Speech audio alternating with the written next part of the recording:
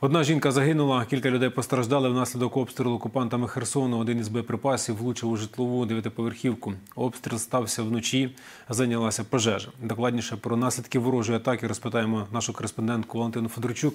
Вона з нами на зв'язку. Валю, що розповідають мешканці будинку.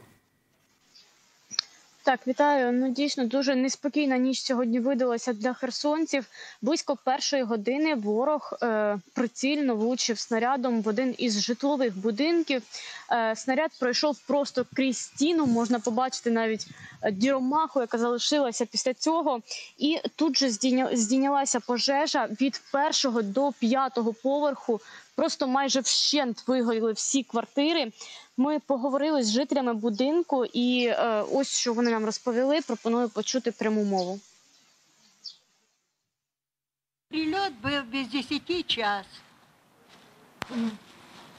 Засвістіло, хорошо засвістіло. Бахнуло, дим. бахнуло и почало горіти. Проснулася шатання нашего дома. А я спала на втором. І надо мною все, все пролетіло туда внутрі.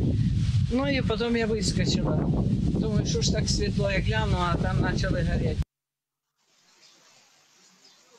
На місце одразу ж е, виїхали працівники ДСНС, і е, рятувальникам вдалося ліквідувати пожежу о 3.35. Однак, е, на жаль, двоє із них шпиталізували із е, загальним перегріванням тіла, оскільки гаряче було сьогодні не лише від російських обстрілів в Херсоні, а й за через погодні умови. Але на щастя, зараз з ними все добре. Їм надали необхідну медичну допомогу.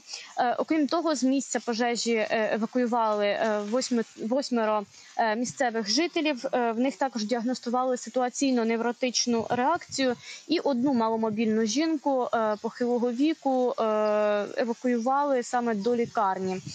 Е, Місцеві кажуть, що взагалі зараз в будинку е, в кожному під'їзді місцевих жителів можна там просто фактично перерахувати на пальцях тих, хто залишився. Тому на щастя і е, немає великої кількості постраждалих. Окрім цього, е, місцеві жителі розповідають про те, що прильоти в цьому мікрорайоні міста бувають дуже часто. Ну, мінометний з тої сторони, воно ж баха, то і бух і оце сюди. Так раза три, по-моєму. А тут общежиття ще раніше. Перший, як почали обстрілювати, він повністю розрушений. Це все время сюди прилітає. То ви то то- Ой, Господи.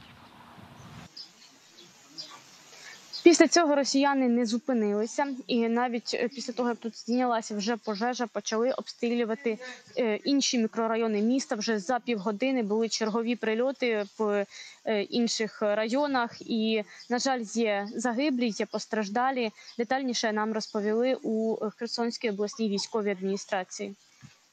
Казати за минулу добу, то близько 100 снарядів прилетіло по території звільненої Херсонщини з лівобережжя. Росіяни продовжували обстрілювати і Макільське, і Ольгіно. Е, Там зазнали поранення 4 людини, по дві в кожному населеному пункті. Вже після опівночі росіяни вкрили е, знову вкрили вогнем е, центр Херсона. Близько другої ночі вони продовжили гатити там в Дніпровському районі. Там, на жаль, е, з-під завалів дістали тіло жінки. Її чоловік отримав контузію. Е, І близько третьої ночі вже також було потрапляння у житловий е, квартал Херсону. Там е, 93-річну жінку шпиталізували. Е, Бабуся отримала там скалки, контузію, невеличкі скалки поранення. З нею все добре зараз. Е, Така ситуація за добу і за ніч. Також сьогодні, вже зранку, о 9.15, окупанти влучили у житловий будинок в селищі Садове. Внаслідок цього поранення отримав е, 50-річний чоловік. Його госпіталізували і зараз йому надають усю необхідну медичну допомогу. Е, Усього, взагалі, за добу е, близько 30 разів е, росіяни обстріляли е, місто і область, і стріляли просто з різного виду зброї, з мінометів, з градів, з БПЛА, з артилерії. Просто гатили з усього можливого саме чомусь по житловим кварталам міста. Дякую, Валю, за розповідь. Наша колега Валентина Федорчук із Херсону розповіла про наслідки нічних обстрілів серед місця. Там є потерпілі і були пожежі.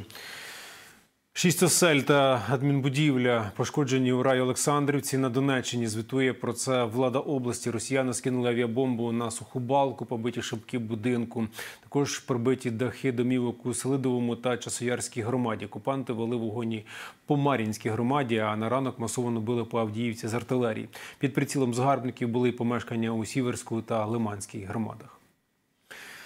Ракетою росіяни поцілили по Синельниківському району. Це Дніпропетровщина. Спалахнула пожежа. Її загасили надзвичайники. Жертв і постраждалих немає, зазначає обласна військова адміністрація.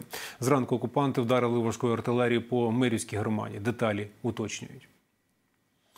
Збирали розвіддані про запланований візит президента України у Миколаївську область. Служба безпеки затримала інформаторку спецслужб РФ, коли та намагалася передати розвіддані московитам.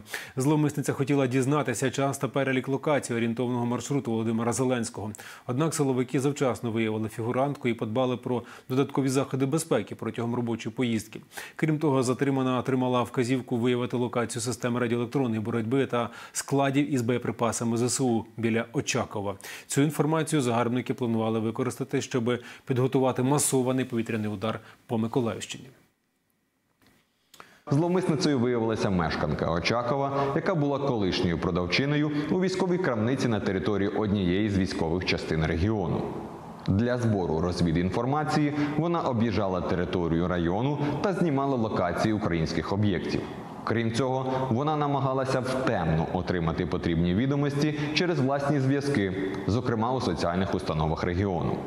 Наразі слідчі служби безпеки повідомили затриманій про підозру.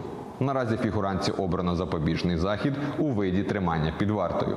Триває розслідування для встановлення всіх обставин злочину. Зловмисниці загрожує до 12 років тюрми. Новий чорний вілей для окупаційного війська. Загалом від початку великої війни сили оборони відправили на вічний спочин вже більше як 250 тисяч загарбників. Про оновлені втрати противника на полі бою звітує Генеральний штаб збройних сил. Напередодні ще 540 російських вояків проміняли погоди на плечах на цинкову кришку над головою.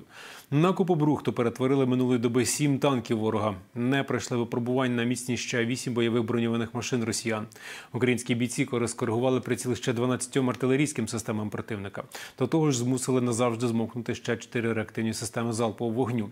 Не врятує московитів від українського реваншу чергова система протиповітряної оборони. Більше не тероризуватимуть мирних українців 28 безпілотників РФІ. Захисники неба збили ще 18 крилатих ракет. На цвинтар техніки рушили ще з десяток військових машин окупантів. А також в останню путь спровадили ще одну одиницю спеціальної техніки ворога. Удари ЗСУ по мостах на межі окупованого Криму руйнують логістику армії РФ. Такого висновку дійшли аналітики Американського інституту вивчення війни.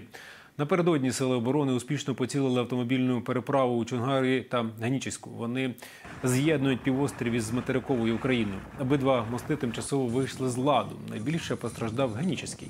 На його ремонт знадобиться більше часу. Загарбникам доведеться переправити рух на інші маршрути, насамперед західним напрямком або сільськими дорогами. А ці шляхи значно довші. Деякі з них вже не обладнані для тривалого використання. Тому забезпечення російських окупантів на півдні України сповільниться.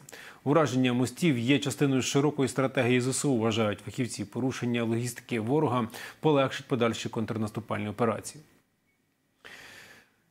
Ефективність фронтової авіації РФ вкрай низька. Принаймні так вважають у британській розвідці. У новому звіті зауважили, що повітряні сили Росії продовжують втрачати значні ресурси. Щодня ворожі літаки здійснюють близько сотні бойових вилітів. Переважна більшість над територією Московії та окупованими територіями України. Російська авіація остерігається української ППО, переконують експерти. Ворог намагається вирішити цю проблему. Зокрема, дедалі більше почали використовувати плануючі далекобійні бомби, але їм бракує точності. Кілька разів ворожа авіація помилково обстрілювала власні міста. Зокрема, у квітні окупанти скинули на російський Белгород важку авіабомбу ФАБ 500 І це останнє повідомлення випуску. Залишайтеся з п'ятим. За кілька хвилин повертаємося до розмовних студій. Чекаємо в гості Валерія Чалого, дипломата, політика. Будемо говорити про е, результати, е, результати е, саміту, який відбувся у Саудівській Аравії. Там дуже багато цікавого.